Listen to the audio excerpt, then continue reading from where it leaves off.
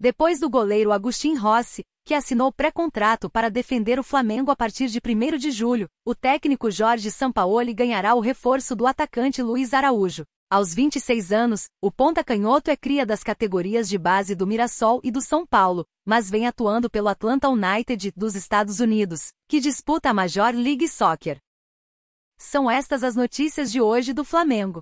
O que vocês acham desta nova contratação?